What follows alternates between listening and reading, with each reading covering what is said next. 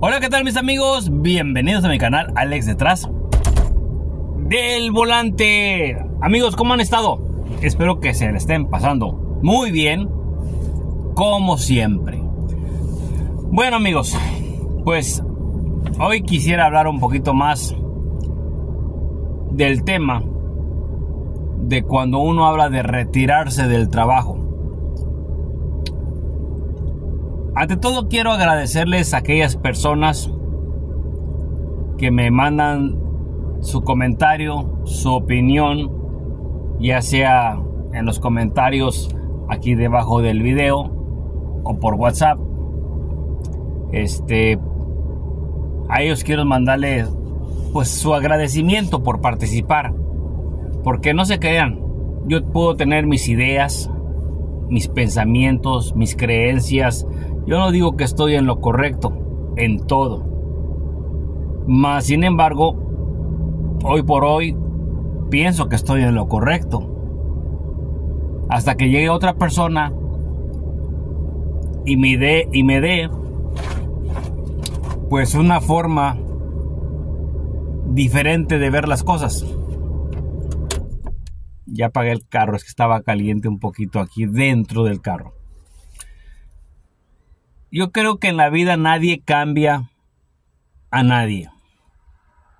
Nosotros, cada uno de nosotros tenemos nuestras ideas, nuestras creencias, nuestros pensamientos. Y podemos estar muy seguros de, de, lo que creemos y de lo que pensamos. Eso no quiere decir que estemos en lo correcto en todo. Pero si estamos equivocados y llega una persona inteligente que tenga la capacidad de hablarnos con calma, con tranquilidad y explicarnos y decirnos, no, Alex, ¿sabes qué? Bueno, mira, yo tengo otra forma de pensar, yo tengo otra idea, por esto, por esto, por esto, por esto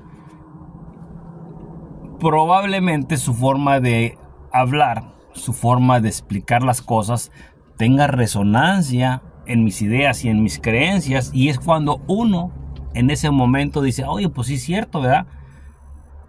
Yo no lo había mirado de esa forma. Esos son cuando las cosas tienen resonancia.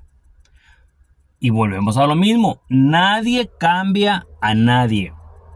Si tú cambias es porque tú quieres cambiar sin echarle la culpa a otras personas.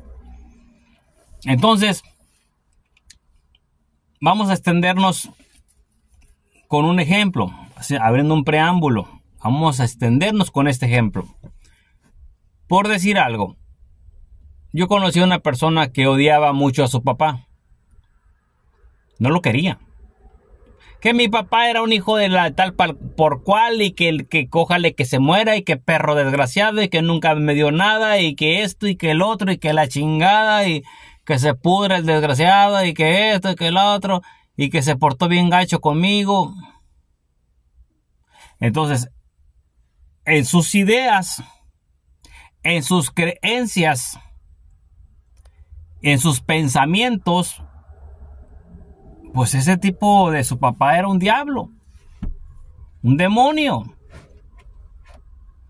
Y así vivió por muchos años. ¿Cuántas personas creen que a él en su vida se le acercaron y le dijeron, ay, pero es tu papá, no tienes que hablar mal de él? Y él que decía, no, no esté chingando, no esté chingando, ese vato es un cabrón, un ojete, un culero. No vale madre ese güey. Y se le volvió a acercar a otra gente. Oye, pero es que él fue el que te dio la vida. Tienes que quererlo, tienes que amarlo, tienes que respetarlo, tienes que besarle la mano. Pues obviamente que él se enojaba. Y, ah, no esté chingando, güey. Es un culero ese vato, un ojete. Y así pasaron los años. No lo digo porque así lo creo. Lo digo porque así él me lo platicó. Él tiene sus ideas, sus creencias y sus pensamientos. Entonces, nadie cambia a nadie. Entonces, un día, pues, tocó el tema conmigo. Ya ven que a veces los temas familiares no son tan fáciles de abrirlos a cualquier persona, pero conviviendo me agarró un poco de confianza y entonces me empezó a platicar. Y entre esa plática pues se abrió con sus sentimientos y ah, mi papá bien culero, hijo de la chingada y que la madre, que la chingada, que la madre. Entonces, yo le digo a él, fíjense, yo le digo esto. Le digo, mira, ¿sabes qué? Es muy, es muy probable que tú tengas una historia parecida a la mía.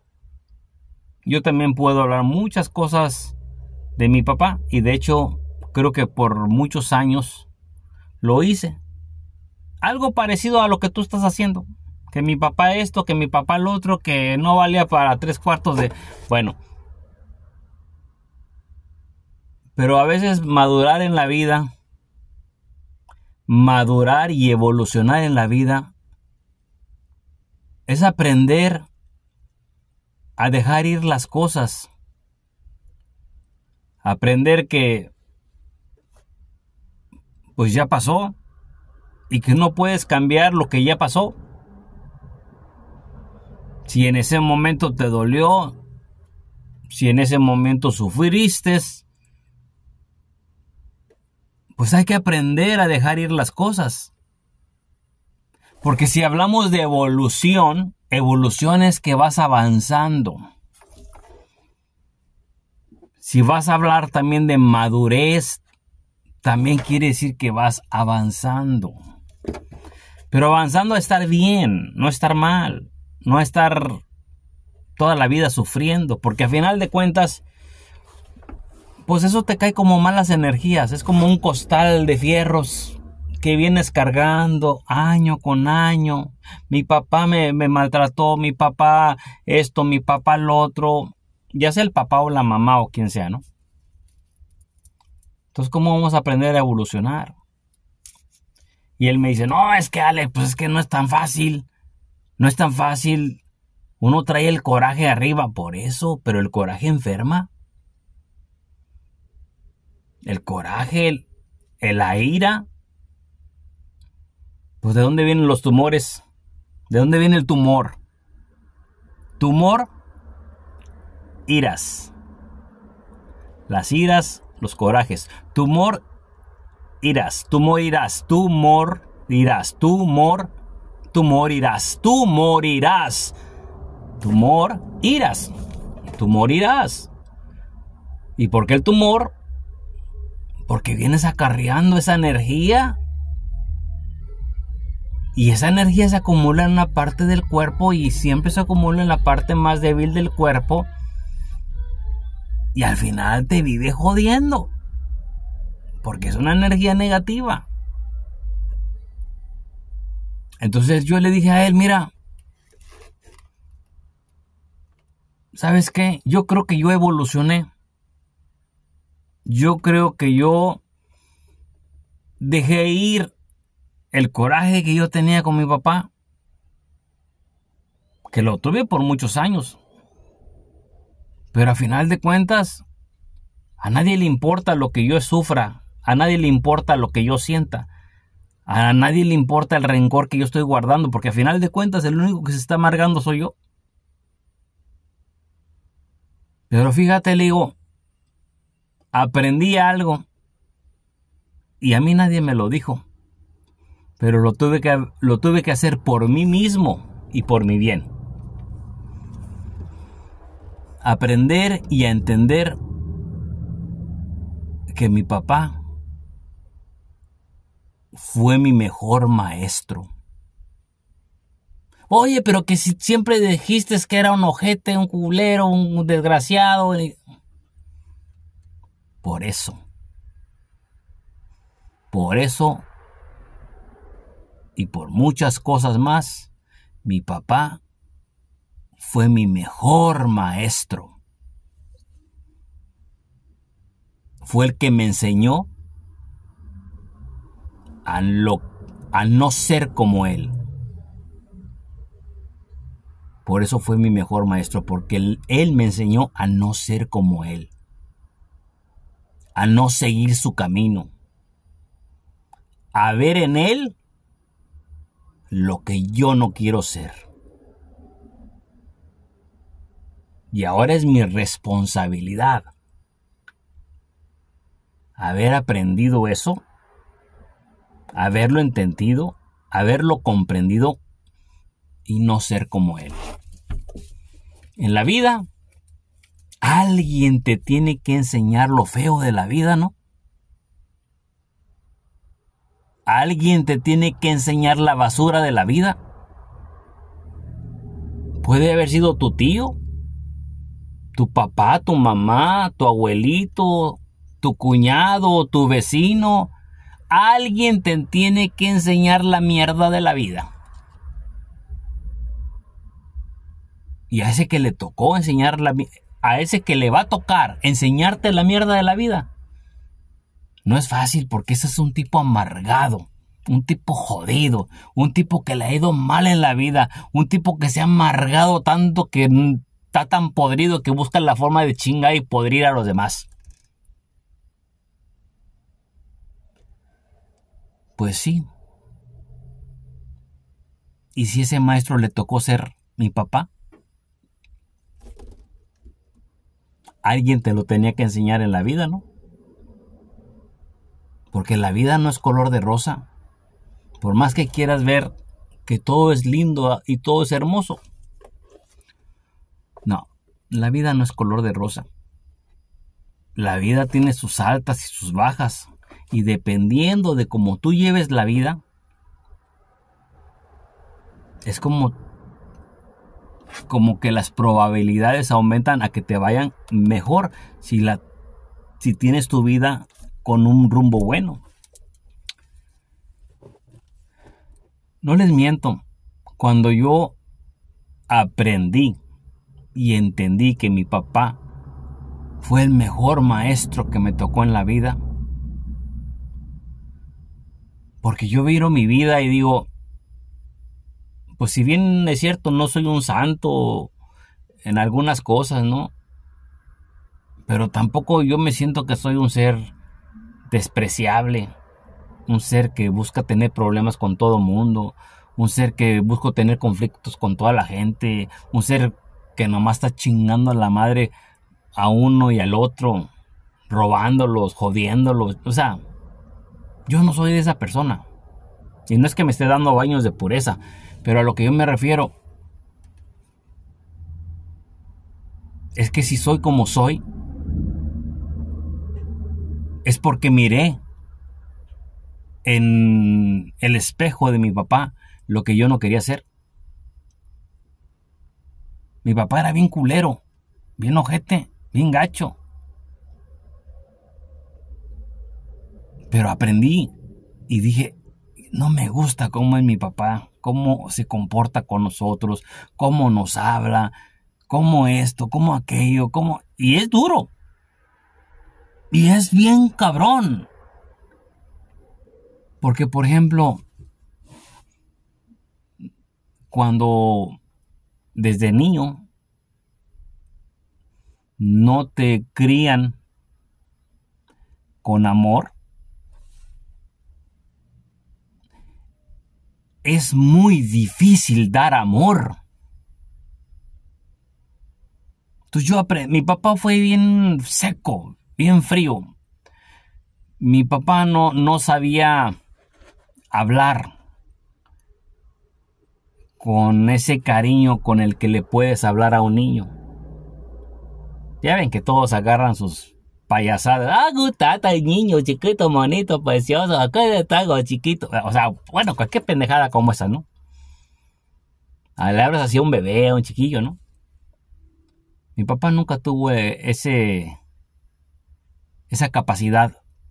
Mi papá siempre nos habló como gente grande. Como adultos. Nunca nos habló como niños. Y no nomás mi papá, mi mamá igual. En mi casa nunca hubo palabras te quiero, te amo, eres lo más lindo que me ha pasado en la vida, quiero que estés conmigo. Eh, o sea, nunca hubieron palabras bonitas, pues. Y peor aún así, y peor. Que todo ese tipo de palabras que de alguna forma las llegamos a escuchar, digamos, como que estamos viendo la televisión y que de repente salía el papá diciéndole al hijo, ay, mi hijo, te amo, mi hijo. Las expresiones de mi papá eran, ah, esas son cosas de, de mariscos, de gente que se tiene la mano torcida. Es que no quiero que me censuren el video, por eso tengo que buscar la forma de, qué forma les explico. Como eran de, de gente de, de gente de, de, de, la banderita del arco iris, ¿no? Ah, esas son cosas de gente del arco iris, pero con otras palabras. O sea que aparte que nos privó de esa educación de hablar con amor, con afecto, todavía nos lo pintó como que eso era malo, como que eso era de gente de la banderita del arco iris. Entonces, vas aprendiendo en la vida y, ok, es lo que conoces. Pero cuando vas saliendo de tu casa y vas viendo cómo aquel niño, su papá le habla así, con cariño. Ah, mijo, venga, mijo, te amo, mijo. Pórtese bien, cuídese mucho. Ay, chinga, mi papá nunca me ha dicho que te amo y te quiero. Nunca me ha dicho, ni mi mamá, o sea. Y mira cómo le. Eh, pues dice mi papá que son cosas. Pues homosexuales, ¿no? así de. Así pensaba yo antes. Ah, pues quién sabe. Pero yo miraba que había algo bonito. Porque por dentro sabes que es algo bonito. Pero la educación que te dieron no te deja, no te deja entenderlo. Tú vas creciendo en la vida y psicológicamente te afecta. ¿En qué te afecta? Que un día tú llegas a tener a tu pareja a tu novia, a tu esposa, y como no te enseñaron a decir ese tipo de palabras, empiezas a ser, aunque no quieras, un espejo de lo que fue tu papá, de lo que fue tu mamá. Y es duro porque no puedes usar palabras de te amo, te quiero, ¿verdad? no puedes usarlas porque las tienes como atoradas aquí como que... Más sin embargo, por ejemplo, en mi vida, la forma de decir te quiero, te amo, la encaminé a que no te falte nada, a procurarte, a que estar al pendiente contigo, a saber que estás bien, que no te falte nada en tu casa, por ejemplo, si es mi señora, mi esposa, que no te falte nada, que estés bien, preocupándome que si está ahí una madera y te puedes tropezar, déjate la quito, que si veo que estás batallando con eso, déjame lo arreglo para que ya no batalles. E, esa era mi forma de decir te quiero. Esa era mi forma de decir te amo. Y yo le decía a mi señora, compréndeme, compréndeme que la educación que me dieron fue tan fría, tan seca, cero amor, cero expresiones de amor, que para mí es tan difícil. No imposible, pero es muy difícil. Mi, mi forma de decir te quiero es eso. Si yo voy y te lavo tu carro y te lo dejo limpiecito y te le pongo un perfumito para que huela bonito, esa es mi forma de decir te quiero, esa es mi forma de decir te amo que, que a la vez la justificaba yo diciendo que tiene más valor eso que las palabritas. Esa era mi forma todavía hasta de justificarla, porque yo conozco muchos cabrones. Mami, a mí, mamá, mamá, mamá, te quiero mucho. I love you, ma. I love ma. Pero son cabrones que se sientan en la silla y a la mamá dejan que se sienta en un pinche bloque. Porque saben que la mamá siempre anda pues, procurando al hijo, ¿no? Y pues si fuera por la mamá, la mamá se quita la cobija con tal de dársela al hijo. Y el hijo, pinche abusivo, sí, yo agarro la cobija, jefa, yo agarro la cobija y me pongo bien calentito, yo que estoy más joven, yo que estoy más fuerte, y usted chingues ahí en el frío. Entonces, ay, mijo, no, yo cargo el bote de agua, el pinche bote, el pinche botezote de agua, ¿no? Este, para que el hijo no se moleste, el pinche hijo más joven, más fuerte, ¿no? Y ah. Ah, está bueno, jefa, llévese el pinche bote. Yo me llevo aquí la bolsita con las dos naranjitas. Y la mamá, ay, qué bueno que mi hijo anda cargando la bolsita con las dos naranjitas y yo con el pinche bote de cinco galones. Como pendeja. ¿Quién es el abusivo? El hijo, ¿no? Pinche hijo más joven, más fuerte y, cargando la bolsita con dos naranjitas mientras la mamá la cargando el pinche botezote de... Pero te amo, mamá. I love you, mamá. I love you. I love you. Entonces, yo entré en un conflicto en mi cabeza de decir, no mames, las pinches palabras, si no vienen acompañadas de las acciones, valen para pura chingada. Y las buenas intenciones mal encaminadas valen para pura chingada. Así de fácil. Entonces, amigos, yo tuve que aprender. Y costó mucho. Porque yo no tuve esa educación ni de mis padres, ni de mi padre, ni de mi madre, ni de mis hermanos, obviamente secos también. Y no era culpa de ellos, era culpa de la educación que teníamos. Entonces yo tuve que aprender a decir te quiero, a decir te amo, pero es duro, porque dentro de uno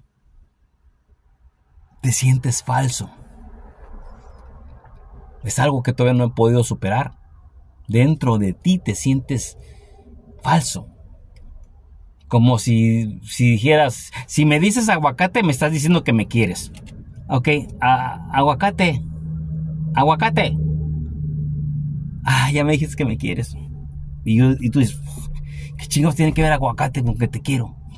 No, me, no, lo entiendo, o sea, es, es duro.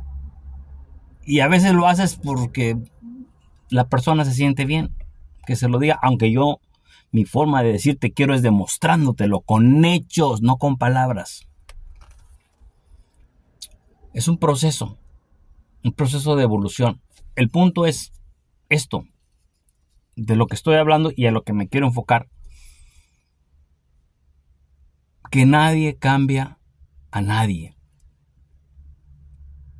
en la vida muchas veces cambias porque tú quieres cambiar. Y si cambias, no le eches la culpa a nadie.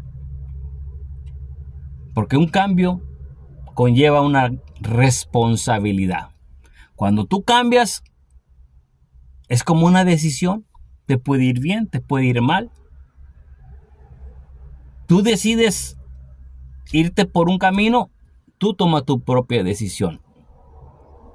Por eso me cae la gente, la gente que, que, llega, me cae hasta la chingada la gente que llega diciendo, es que tú deberías de hacer esto, es que tú deberías, tú deberías hacer lo otro, tú deberías, tú deberías, me cae de la rechingada, porque oye, pues quién chingados eres para decirme lo que yo tengo que hacer o no hacer en mi vida. No vengas a querer cambiar mi vida. No vengas a... porque pues, pues, ¿quién chingados te eligió a ti? ¿O quién carajos votó por ti? Yo no veo a nadie, cabrón, que haya votado por ti. No veo un chingo de gente que te votó por ser el elegido.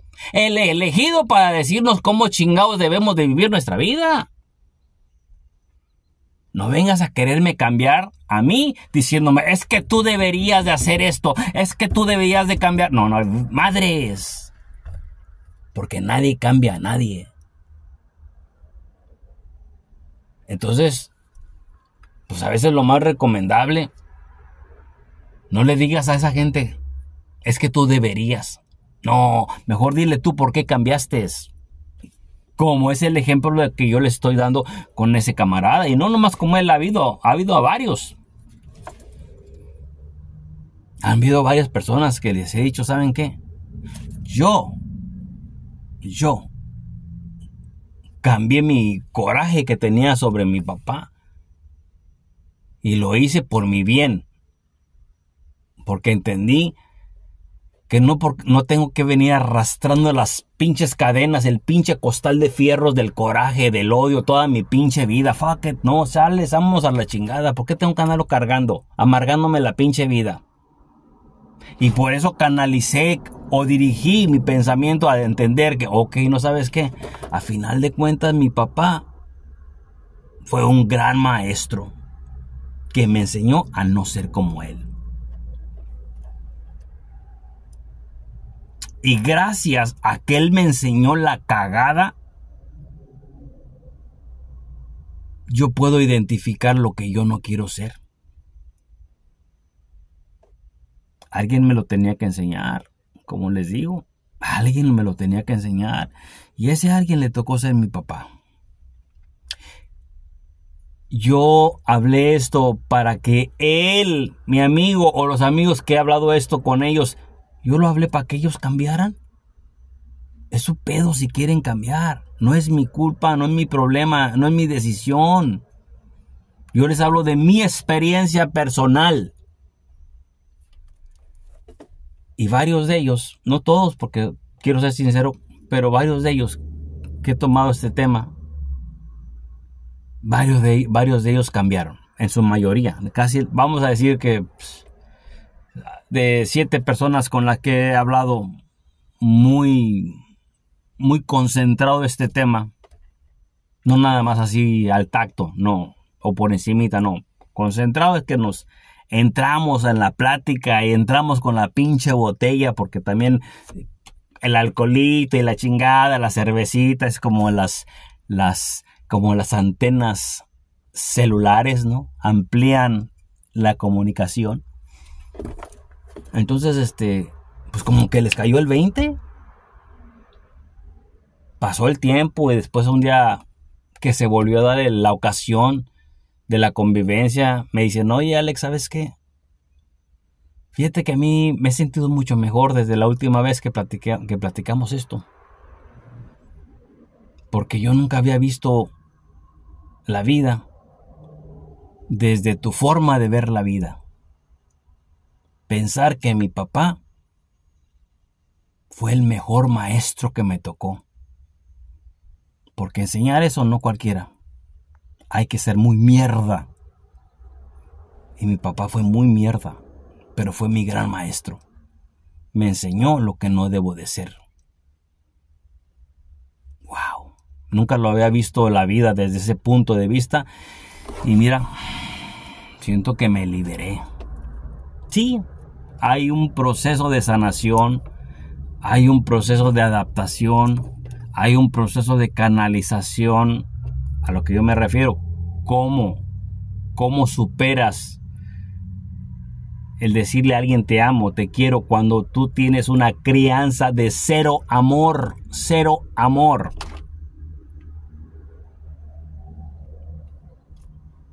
Cuando tienes una crianza de mucha agresión, mucho grito y cero amor. Y fíjate lo que son las cosas. Dijera, chinga, pues me tocó la pinche mala leche de tener un papá de cero amor y cero. Pues cosas bonitas, ¿no? Las cosas bonitas que puede haber entre un, hijo y un padre o un padre y un hijo, ¿verdad? Ay, cabrón, pero que me tocaran los dos cabrones, papá y mamá, valiendo madre, chales. Oye, Diosito, bueno, pues yo digo Diosito, pero como dice la gente, Diosito, te la bañaste conmigo, que me toque un cabrón está bien, güey, pero que me toquen los dos hijos de la chingada, pues sí, está cabrón. Bueno, ya saben que yo no soy creyente de Diositos ni nada de eso. Entonces, amigos, repito, nadie cambia a nadie si de repente escuchas a una persona hablar, escúchalo, escucha su historia, pero que no, no te venga a decir tú deberías hacer esto, tú deberías hacer lo otro. Nada. No. No porque es como, como corregirte. Como decirte lo que él. Muchas veces te lo dicen gente que ni siquiera lo ha hecho, ¿eh? Eso yo me he dado cuenta. A mí han querido venirme a decir o a cambiar mi vida. No, es que Alex, tú deberías hacer, tú deberías hacer lo otro. Le digo, oye, güey, ¿y tú ya lo hiciste? Como idiotas. Ah, son buenos para dar los pinches consejos, pero por su pinche vida nunca han pasado. Amigos, cambien.